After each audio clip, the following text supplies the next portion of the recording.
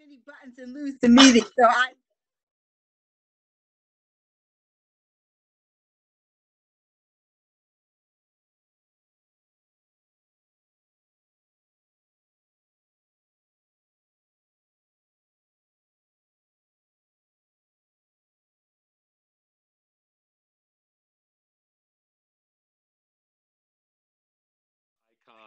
Yeah. Click it. Yeah. Well, you guys keep going. I gotta find it. Should be, right? Yes. I can't even. I don't even see my mute.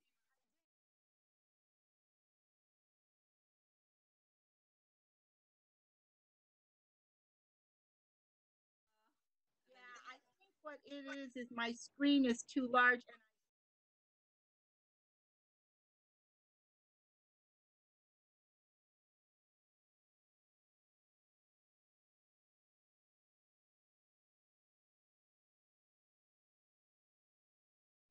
a motion, Gail, or second a motion, we won't be able to see you. Um, so you can either enter something in the chat, but my guess is you can't even see that. You know how the- So you play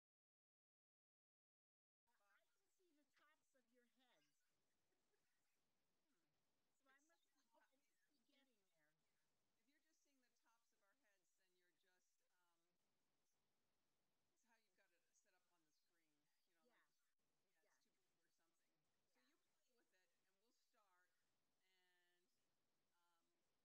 And um, is there right now? Is there one of the motions you want to make beforehand? So while we got you, because otherwise, Janet, you're going to mute us all, right? Yeah. Can Do I I make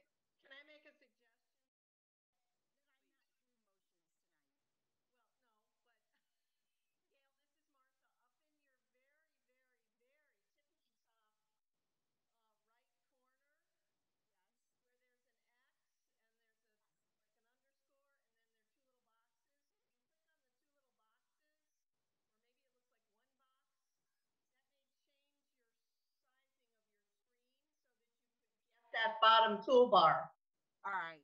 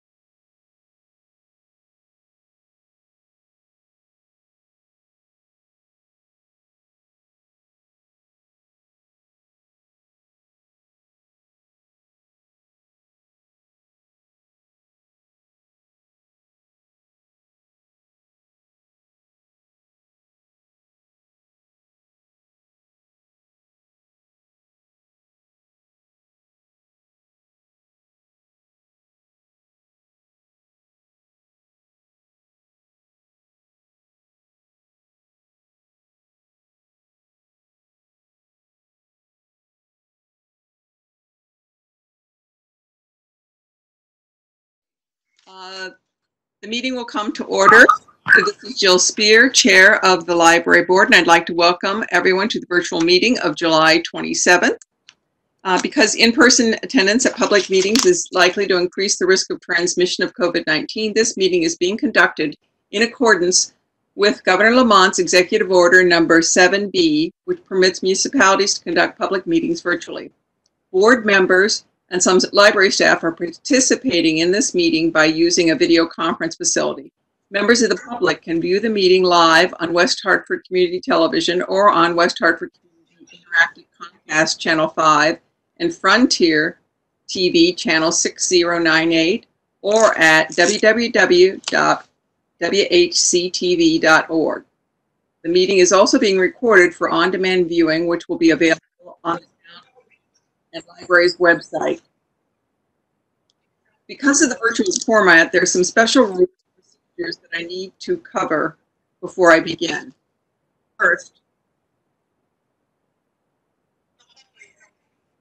you know what? Um, let's pause for a second. We're picking up the other, um, we're picking up West Hartford TV's um, transmission.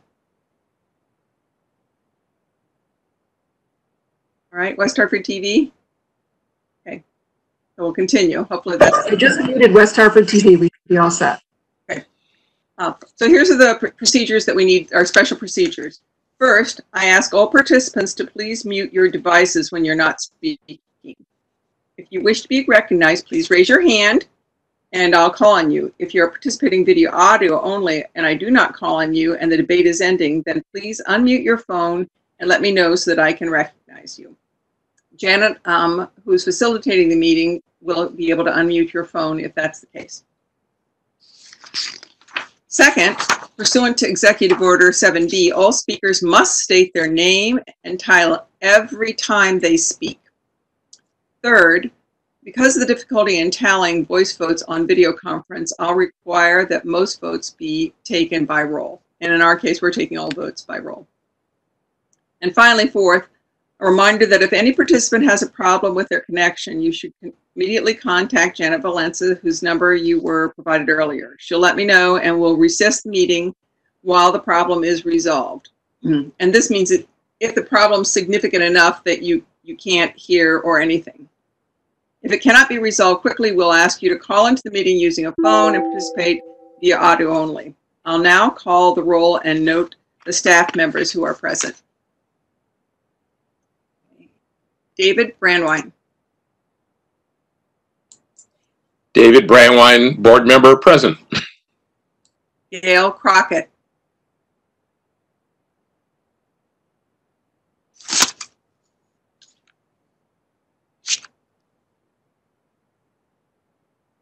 Gail Crockett. Gail, can you unmute your phone? She is unmuted. Oh, no, there she is. Okay, now she is. Okay, Gail Hi. Crockett, Gail Crockett, present. Ann Donovan, Ann Donovan, board member, present. Kim Cohen. Let the meeting notes uh, reflect that Kim Cohen is no, is not attending, is not at the meeting at this point. Jill Spear. Jill Spear, Library Board President, President, present. Our first agenda item tonight is approval of the consent and agenda with items three and six AI, excuse me, and six AII. I would like a motion to accept approval. I see David Brandwine has made a motion to accept approval of the consent agenda. Do I have a second? Ann Donovan has raised her hand and indicated she is seconding the motion. We have a motion to approve approval of the consent agenda in a second. I'll ask uh, there's any discussion. See no discussion. And we'll now take the roll call motion. David Brandwine, David Brandwine, board member, yes. Gail Crockett. Gail, if you can unmute, vote your, uh, mute your phone and vote. Um, I'm not doing anything, so I didn't know I was muted. Can Can you hear me now? Uh, yes, we can. Um, Gail Crockett, board member, affirmative. Ann Donovan. Ann Donovan, library board member, yes. Okay, let the um, meeting notes show that Kim Cohen has been able to join. And Kim, we have a motion and it's been seconded for approval of the consent agenda. Um, You have a vote? Or can you vote? Kim? Yes, this is Kim. I vote in favor. Thank you. Uh, Jill Spear, Library President, yes. Thank you all. All right. Our next agenda item is the- chair's report. First off, I'd like to welcome new board member Gail Crockett, and we're delighted to welcome Gail to the West Hartford Library Board. She brings her expertise from a lifelong career working in a variety of roles in state and local government, as well as volunteering for organizations including uh, Wasco and the Senior Job Bank. So welcome, Gail. We're delighted to have you. Thank you. Our next agenda, our president's part of the chair's report is, excuse me, is the library director search. Um, I'd like the, uh, to make note that in the minutes that the library board recognizes the many challenges of filling um, the library director role as a key role in these unprecedented times and has a multifaceted strategy to ensure continued leadership in the West Hartford community's much-loved institution. As we continue to receive and view applications for the next library director, we're working through transitions pli- plans concurrently. And I want to thank um, the library director, current library director Martha Church for helping us develop those plans. The next agenda item is old business. Uh, First item is fourth quarter library statistics. The chair recognizes uh, Martha Church to present those statistics. Martha Church, uh, Library Director. And um, so our fourth quarter statistics are what you would expect for a fourth quarter that began uh, concurrently with the with the beginning of the um, coronavirus pandemic and the shutdown of the physical locations, although we were able to maintain library services throughout the period, we certainly were not measuring some of the things that we normally measure. So you will see that, you know, we have a lot of things in the minus column, a lot of our statistics that have gone down, but those are all things that make total sense given the um, environment that we've been currently experiencing. So uh, we are down significantly, and I'm just going to hit the, the high spots here. Obviously, visitors to all locations is down 33% from fiscal 19 to fiscal 20. That's totally understandable.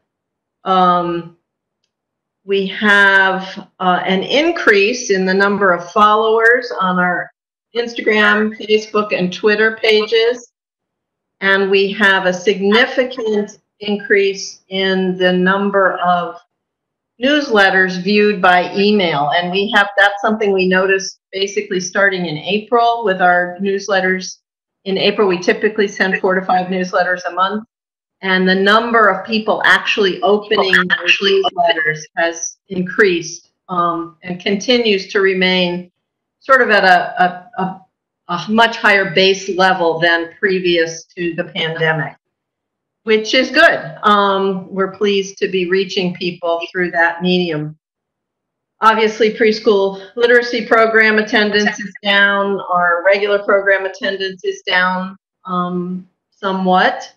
It took us a while to get into virtual mode, as most of you know, um, but we are operating that way for most programs. But we're not doing the same number of programs that we had done previously uh, our number of loans of physical items. Here's another area that you would expect, down just under 30% over the previous year. However, balance that against um, a change from fiscal 19 to fiscal 20 of 52.55% in the number of downloadable materials that have been loaned. You know, there's been an a real explosion of, of that change. Um, so that's a that's an interesting statistic. Our wireless statistics are down. You know, we have a lot of people who were in our buildings using our wireless, and when they can't be in the buildings, obviously that number is going to go down. Same thing with public computer sessions. Um, our patron interactions via phone, email, or in person, we're down because we don't have the in person ones our statistics remain very strong in terms of the number of actual phone calls we do since we've been doing the phone um, communication center for the town. And our, we've got a little pop up in the number of people using our online research and um, database type tools. So again, that's pretty consistent. It's what you would expect. There are no real surprises in this report one of the things that I wanted to check before I reported to you tonight was now that we've been doing the curbside pickup service and people are able to reserve and pick up the um, physical items again, I wanted to be sure that we weren't losing sort of market share on the, um, on the, on the, uh, electronic materials, and we're not. The electronic materials continue to hold at the levels that they have achieved. So that's, that's actually a pretty good trend and, and thing that we're seeing. So we're, while we're doing, um, and I'll have more details in my, in my, um, current monthly update about the curbside service, but we added curbside, we expanded back to curbside service for physical items, and yet we haven't lost the gains we'd made in the electronic. So does anybody have any questions on that? I'll leave it back to you, Jill, to lead the,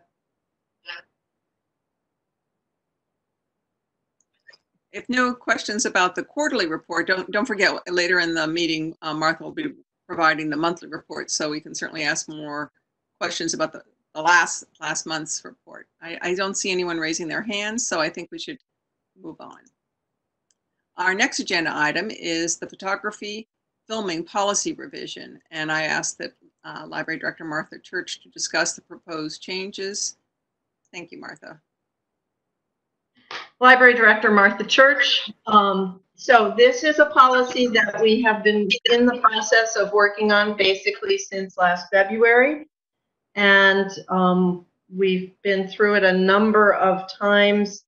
It's a, uh, a sort of a reworking of a previous policy that we had to try to address um, in a in a more clear manner situations where people might come into a library and and film or attempt to take pictures of other library users. And we felt that the policy we had on on the books was not clear enough and we've asked for assistance with this one and we've had a number of attorneys including our own attorneys take a look at this um, so we had town corporation counsel, two of, two of that staff have, have gone over this.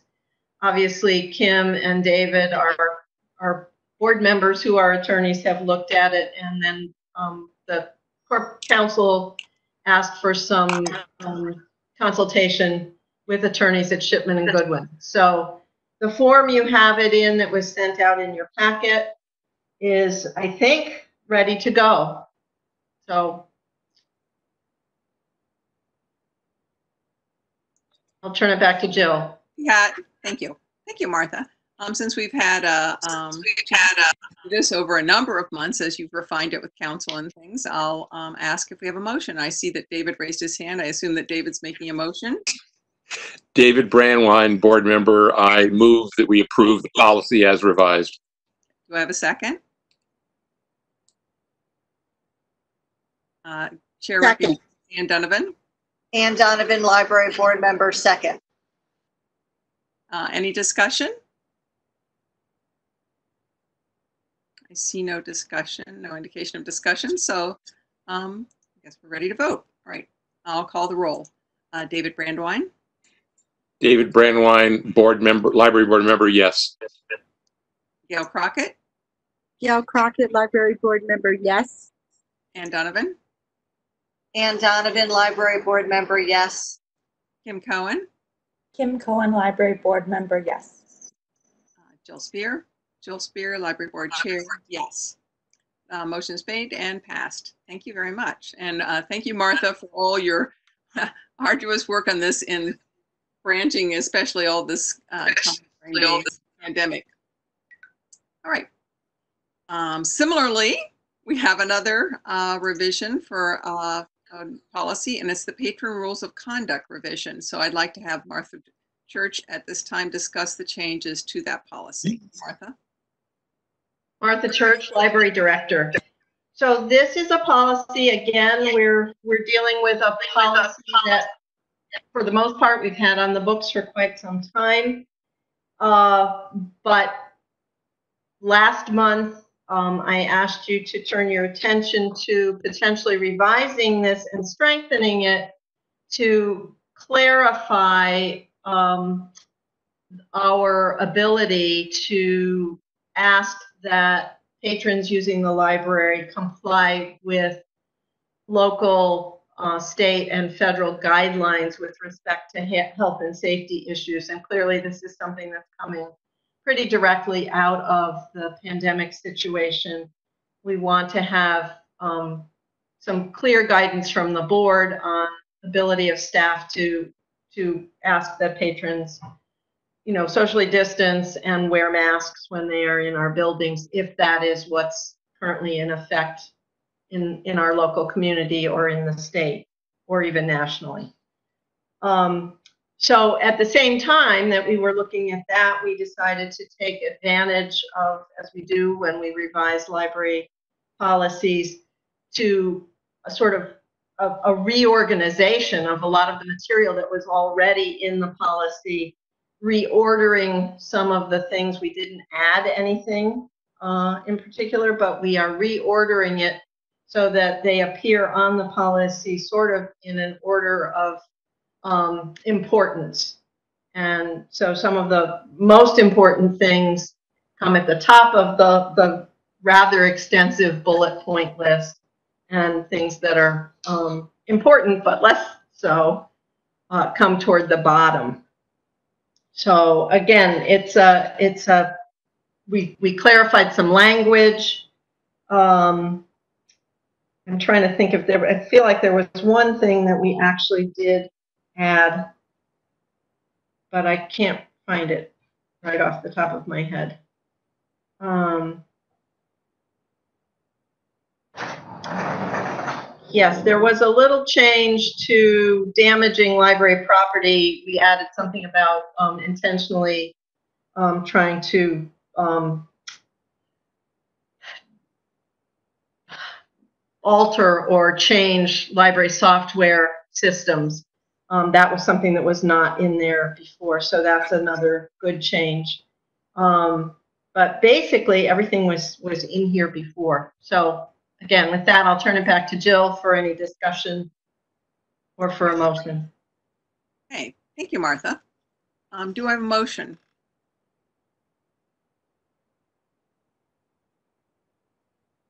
David Brandwine is making a motion. I'm not shy shaking my hand. Um, David Brandwine, board member, I move we approve the policy as revised. Second, Uh, was that you, Anne, or was that Gail? I couldn't see. Gail, it's Gail.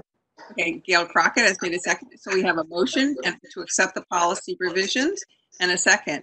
Um, Is there any discussion? Oh, Yes, David. So I apologize as always that I didn't really read this thoroughly until 15 minutes before the meeting. Martha, I'm sorry. Um, I have a couple of uh, word clarifications. If you go to the third bullet down, engaging in any activity in violation of federal, state, CDC, local health or safety protocols, two things. I would suggest taking out the word CDC. I mean, it's hot on everybody's mind right now, but CDC is federal and it's redundant in my view. Um, and secondly, the word protocol does not really have a legal, it's not really a legal term of art. I would suggest we insert instead of protocols, the words regulations or guidelines. And then my only other comment is going down to about halfway down where it says exhibiting hygiene conditions. I think there needs to be an adjective there, like adverse or poor or some other clever word. Um, because everybody exhibits hygiene conditions. Yeah.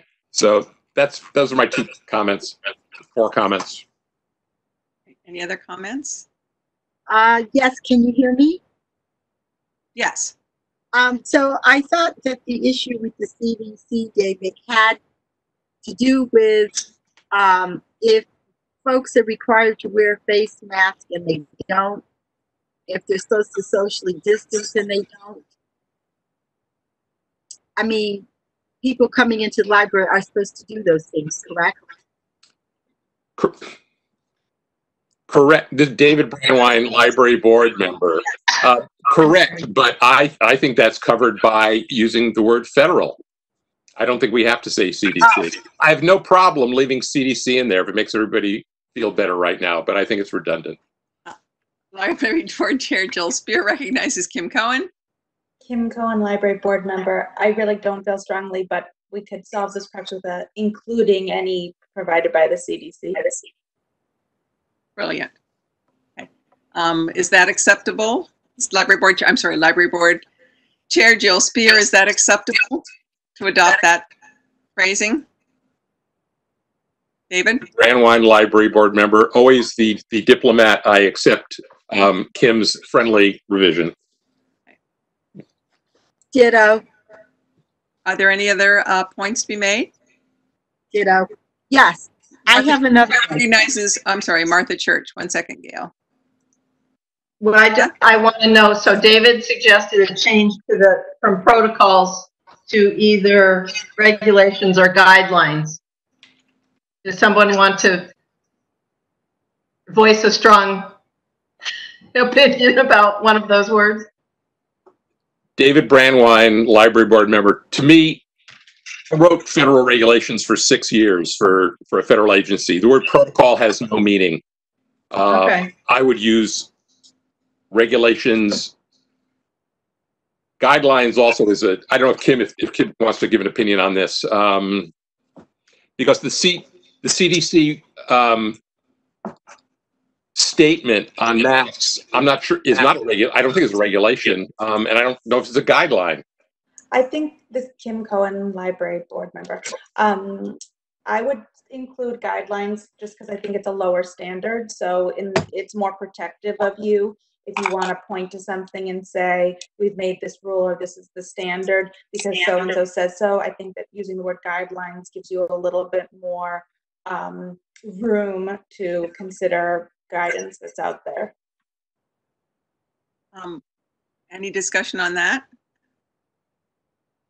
Before we go off, um, that particular, uh, uh, example that's in the, uh, that's in the, uh, thing, uh, the chair recognizes Gail. Were you going to add a comment on that particular line as well?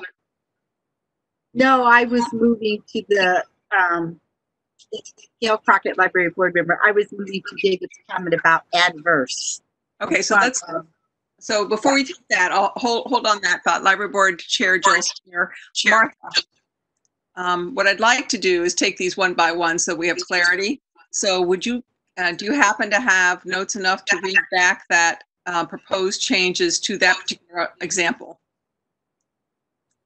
Library Board recognizes Martha Church. Martha Church, Library Board Director. So this is the proposed revision to bullet number three, as I've taken the notes. Engaging in any activity in violation of federal, state, or local health and safety guidelines, including those from the CDC. Um, Library Board, uh, Chair, uh, recognizes Kim Cohen. Kim, were you, um, uh, were you thinking that federal and at that point say including CDC since the CDC is a federal agency? What were you thinking how that would be worded? I think, yes, that probably is where it makes the most sense, but I don't think it matters. Does- Okay? As you say, always diplomatic. All right, all right. So Martha, uh, Chair recognizes Martha. Can you read it one more time and then we'll just, we'll do a kind of mini vote on that just because, you know, it's difficult in our Brady Bunch squares here. Okay, Martha, can you read it again? Chair recognizes Martha Church. Martha Church, Library Board Chair. I'm going to read it with that um, phrase moved to the placement that Kim had just suggested.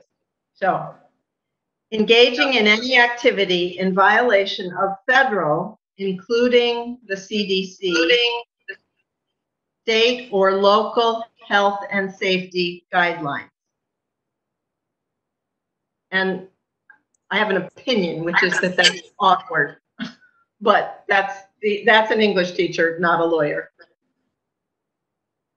This is Kim, Library Board Member. I think that that's fine. I might say guidelines and regulations. I don't know that it means anything, but I think both is probably better. And I don't, I couldn't tell in your delivery was including the CDC in parentheses, because maybe that makes it slightly less awkward. Oh, you're muted, Martha. I will do whatever the board chooses to do. She said diplomatically. Jill Spear, so here, you guys are so polite to each other. Here's what I suggest. Here's what I put, including CDC right behind federal in parentheses. Makes it less awkward. I do believe that, um, Kim is suggesting that we, we really do need to say regulation and guidelines. Since uh, there seems to be a quandary currently about some of those things and that that would be acceptable. So I hate to do this to you, Martha, but can you read it one more time? Beauty of being a librarian, you can read. Um, so, Martha Church, Library Director. One more time. Engaging in any activity in violation of federal, including CDC, state or local health and safety guidelines and regulations. All right. Um, this is not a real vote for the whole, whole things, but if everybody could just give me a thumbs up or down, that that's good, for that we're enough discussion on that item. Okay, I see everybody's thumb up. So we're good for that one. Um, can we move on to the other items that, uh, we'll do the that David brought up, okay? So Martha, can you, um, read us the next one? Chair recognizes Martha Church. Martha Church, Library Director. So this is bullet one, two, three, four, five, six, seven, eight, nine, 10, 11, 12, bullet 12. Currently reads exhibiting hygiene conditions, including but not limited to offensive and pervasive clothing or body odor, insects or pests, or with unsanitary belongings that interfere with the use and enjoyment of the library by others or with the functioning of library staff. David's suggested amendment is that exhibiting adverse hygiene conditions, including what I just read. Oops, Chair recognizes Dave Brandwine. David Brandwine, library board member. In this case, I defer to the English teacher rather than the lawyer. What do you like, Martha? Chair is Martha. Li- Library Board Director Martha Church, uh, Library Director Martha Church. Um, I, I, I actually like the addition. I think it's clearer to, to put the adjective in there. All right. So what I would So suggest- I, I would, I would suggest that you do that. All right, so can we do a thumbs up or down on this new wording? I have a question. Okay, Gail, Chair recognizes Gail Crockett. Thank you, Gail Crockett, Library Board Member. So with respect to the word adverse, how, who, and how do you determine?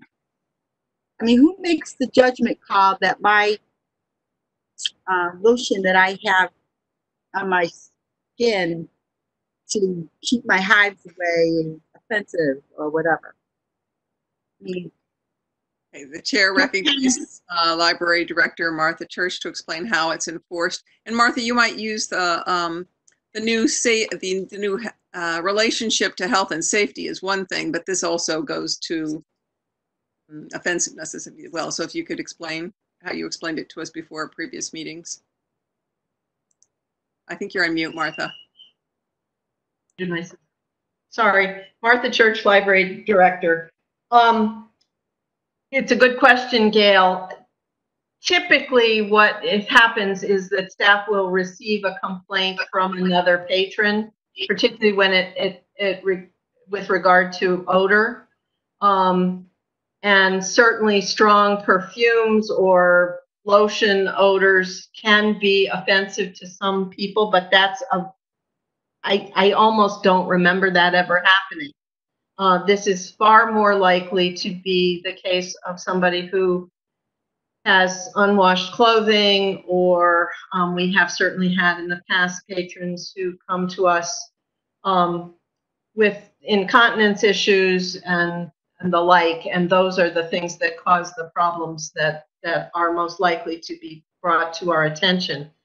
So um, a staff member might notice such a thing. Most patrons, if it's simply a heavy perfume situation or a, or a lotion, will move away. Um, it's the, it tends to be the person who's coming to spend a long period of time with us.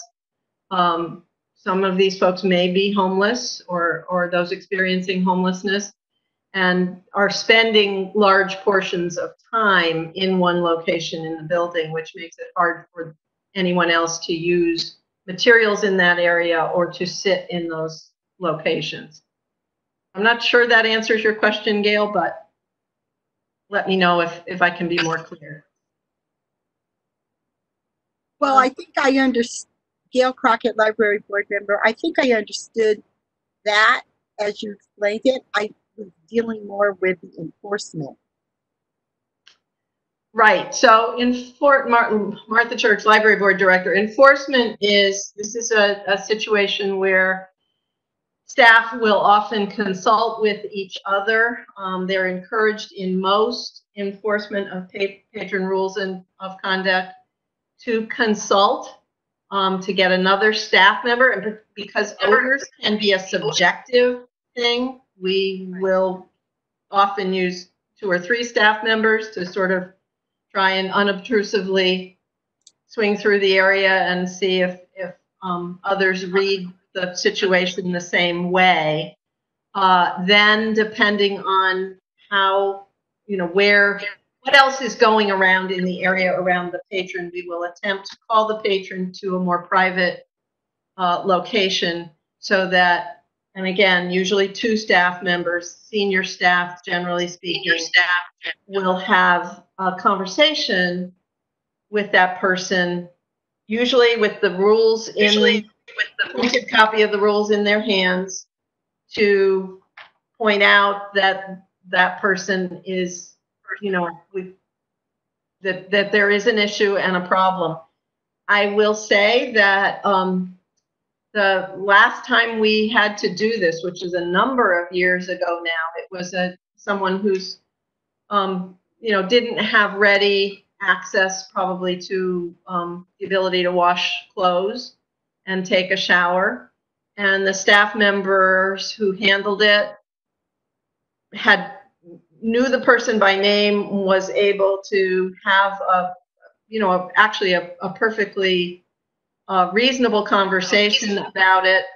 Patron left for the day and returned the next day, having showered, having laundered the clothes, and presented himself in front of that staff member to say, you know, have, is, is everything okay now?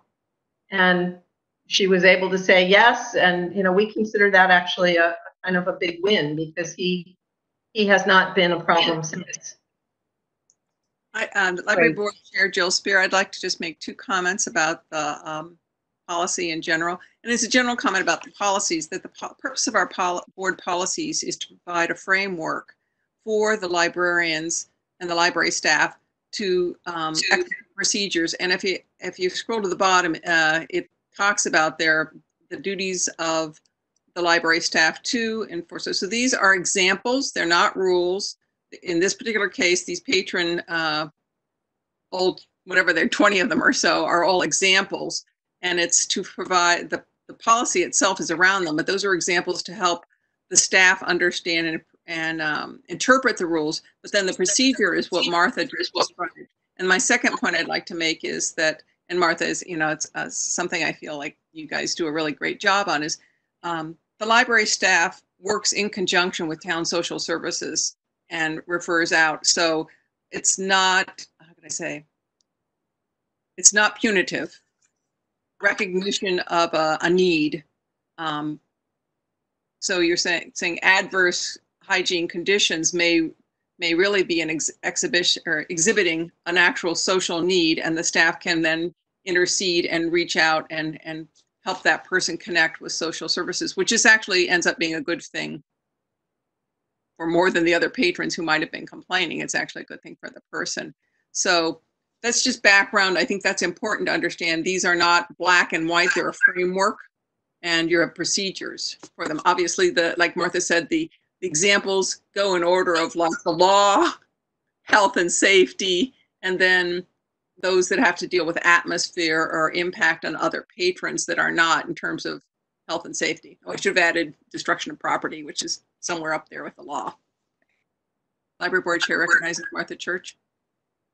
Martha Church, Library Director, and just again, um, since Gail's new with the board, I, the, the bullet number one, that interfering with another patron's use of the library or with library staff in the performance of their duties is kind of the overarching concept that these are directed to um, under underpin or support. So the, the goal is to have everybody be able to use the library safely, comfortably, and and um, so when we have a situation that develops where it's not safe or it's not comfortable uh, for all, for reasons that are significant, you know, we don't want to say I'm not comfortable because I don't like the cut of his jib there, that man that's, you know, sitting next to me, and there's nothing specific. There has to be a specific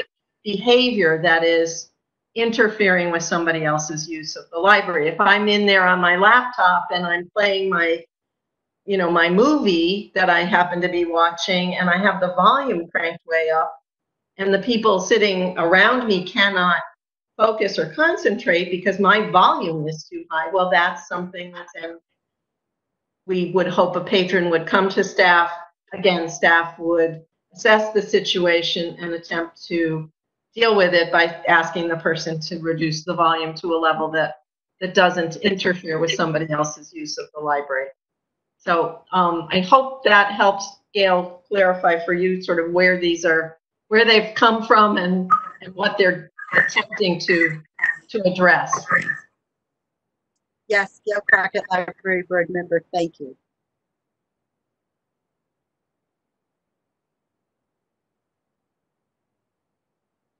Right. Um, let's see, that was the hygiene one. There was the, uh, the, the health and safety CDC federal one.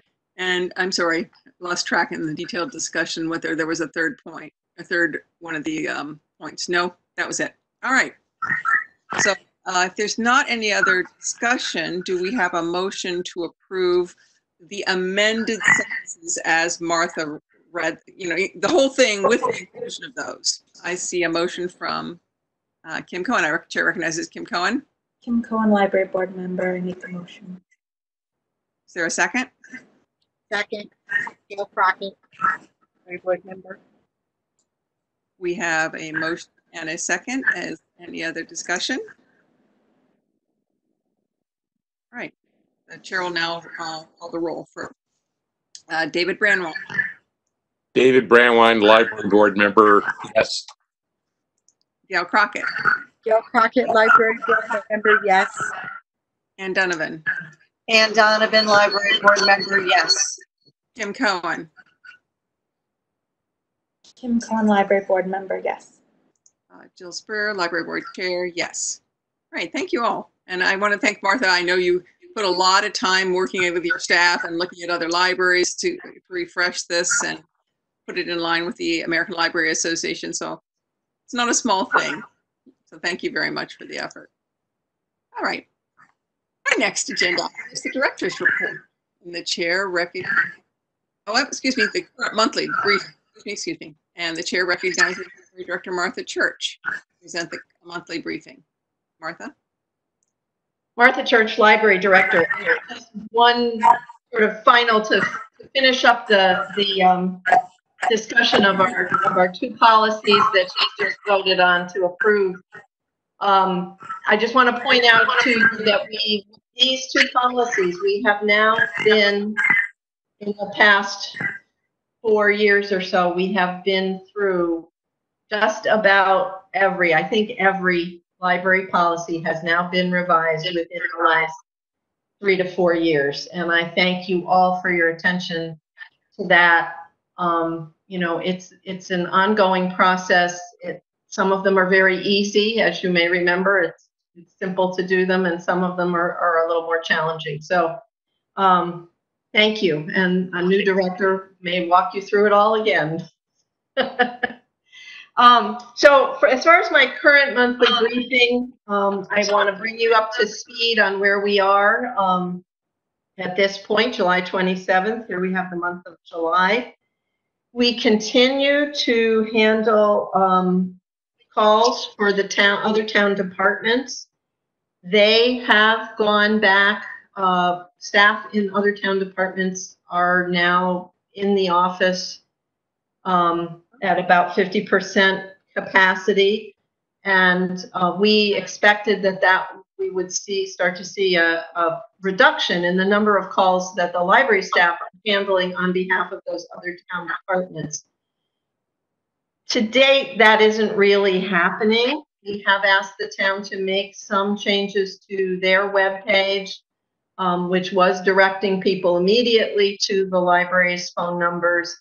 We now have asked them to put up a, a there's a pop-up box that comes when you hit the town webpage that suggests that they call, if they know the department they want, they call that department first, and that they only call the library number if they're unclear about what department it is they need.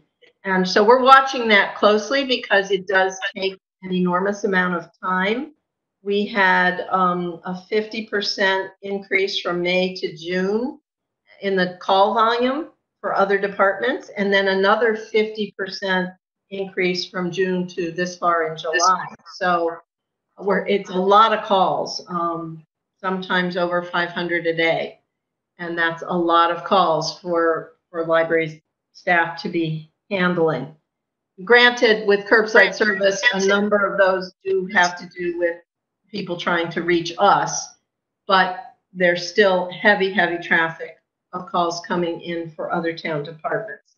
So I will continue to keep my eye on that and we will continue to try and work with the team to make adjustments so that library staff can start to turn their attention a little bit more exclusively back toward library business. Our curbside service, um, as of this morning, is going extremely well. We've done a total of uh, 4,627 curbside appointments. That was at midday today since June 8th. Um, so over six weeks or seven weeks, actually, we've we've done about it's it's well over 650 um, um, uh, curbside appointments per week. We've actually added more capacity. We originally started this program thinking that our maximum capacity was about 600 in all across all three locations, and we've added additional pickup slots to um, because we felt we had the capacity to do that. So uh, that means that people are getting their materials, they're getting them in a timely fashion. Um, all staff is really pitching in to, to help with that service. And we've had a lot of very, very positive feedback. People are thrilled to be able to finally have a physical book in their hands. So we're very happy about that.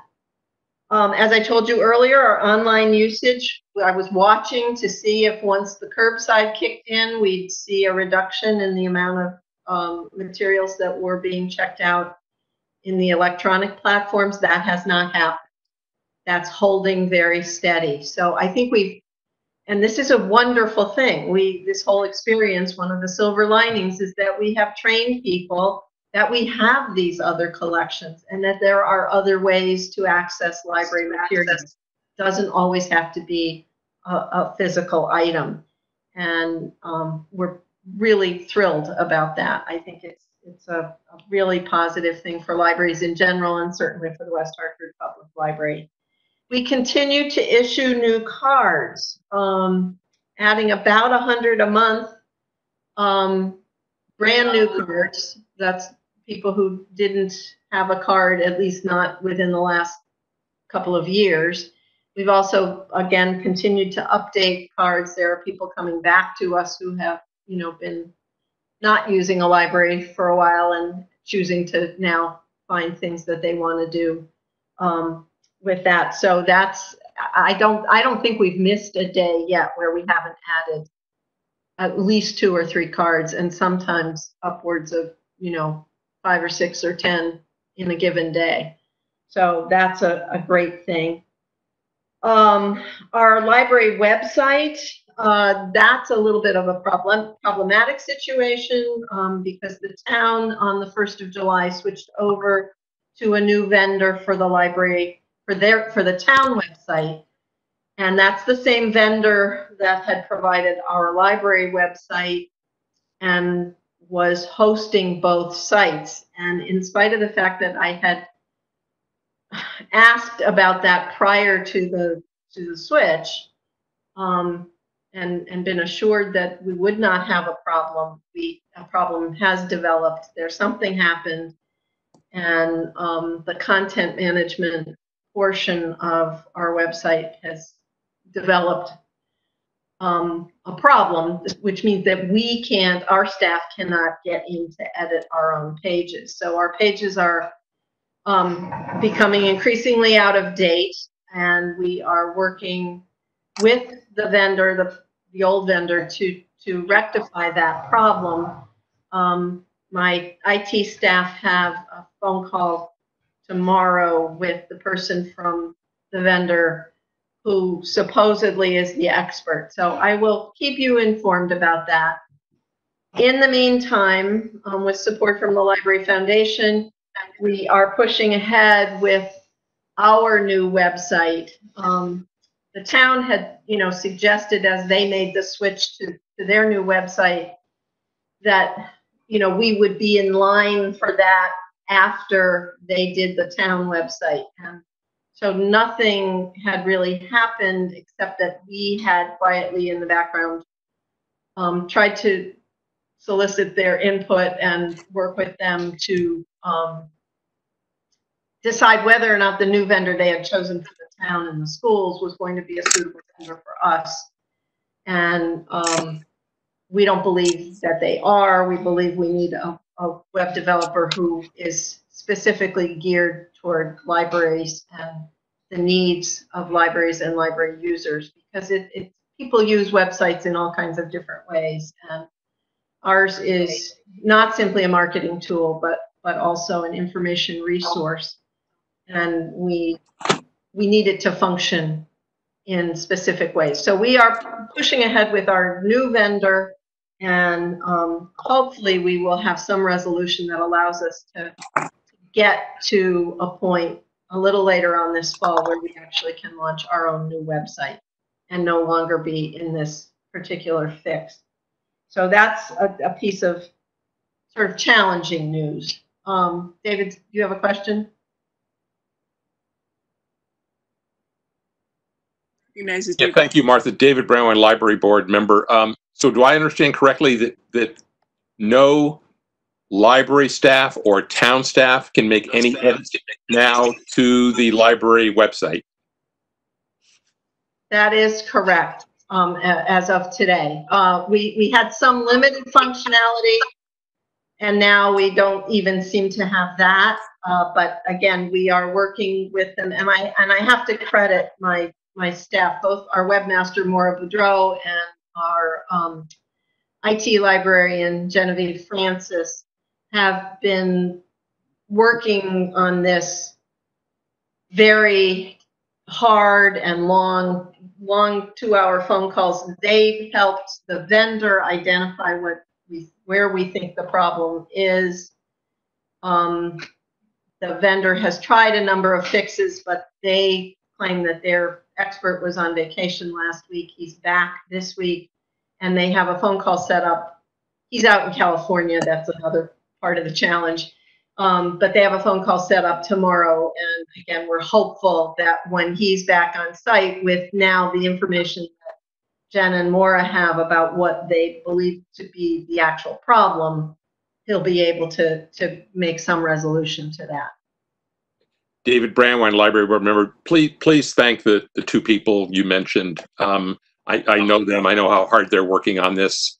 Um, and I'm sure it's unbelievably frustrating to them as to well as to everybody else that we don't have a functioning library website right now. So good luck. Thank you. so to continue the report, I want to tell you a little bit about outreach. Outreach. This is a positive thing, and you might think that in the and uh, in a COVID pandemic situation, you might be less able to do outreach except what you can do virtually. But um, we are repurposing with their permission some funding that we had from the Hartford Foundation for Public Giving for Facts and Fun.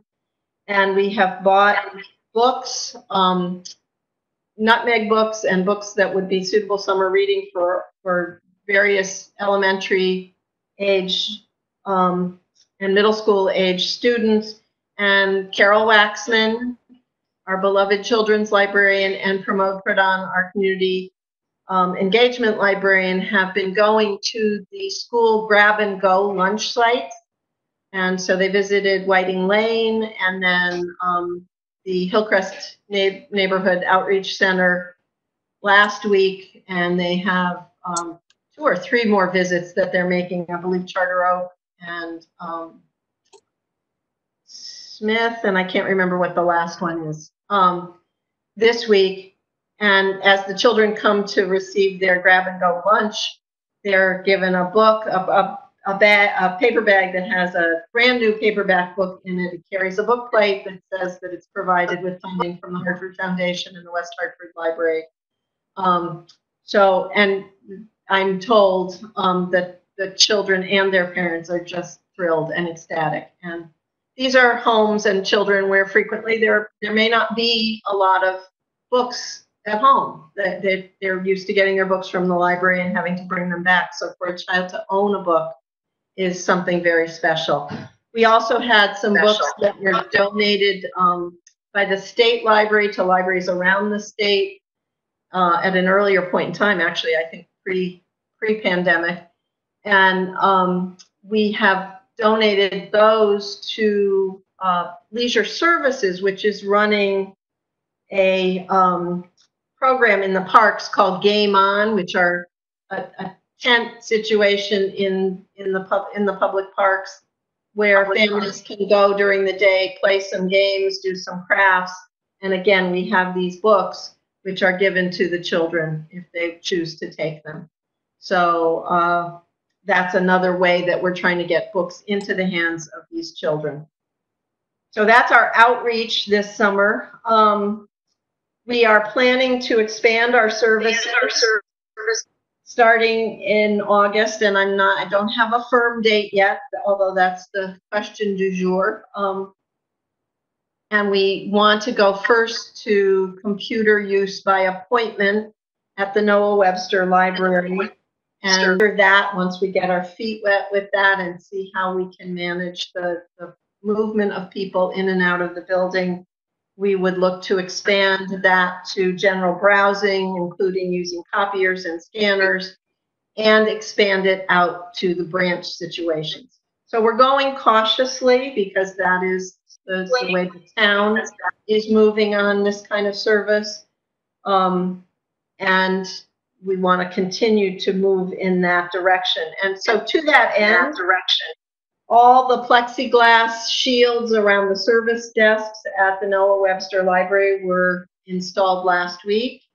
And um, that's terrific. I think staff are feeling very much more secure about how interactions with patrons will go because each desk is is very well protected now by plexiglass shields. So that in addition to wearing a mask and we've gotten some um, plastic face shields to go along with that.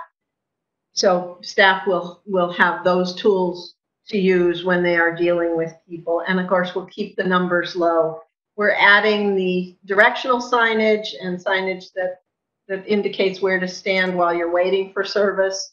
So the six feet markers um, are being added and, and all staff has had the opportunity to kind of walk through, we placed them, we haven't stuck them down, but we want to have everybody have a chance to kind of walk the building with those things in mind and, and have a sense of how they think it'll work. That way, if anybody sees a potential problem, we'll know about it before we actually physically put the markers on the carpets. Um, our Zoom room has been completed and uh, we've used it for a number of staff meetings. I used it last week for our library book discussion meeting. Um, I was the only one in the room, but they were all on Zoom and they could see that I was in the room where we often do that that particular discussion group and I think that made everybody feel like things were a little bit more normal. So um, it's fantastic technology, easy, easy to use. Um, you know, you, the, the person running the meeting can control the camera or you could hand that off to somebody else. It's all controlled from a touchpad. And we can move that camera around the room. The camera right now is not quite wide angle enough and the, the um, company is coming back, I believe, Thursday. And we hope they'll have the new camera to install that will be the, the wider angle that should allow us to get the whole room in a picture. So that's that's a pretty exciting thing. And we've had a lot of talk on staff about what other programs would benefit from from being um, operated from that particular perspective. We're thinking of things like um, some of our English um, conversation classes and uh, some of the programs that Promote has done previously at, in the meeting room, the, the ones where we've had um, immigrants come to tell their stories, their immigration stories, and that's one we do with the Golden Door Immigration Center. And he worked, and I discussed this afternoon.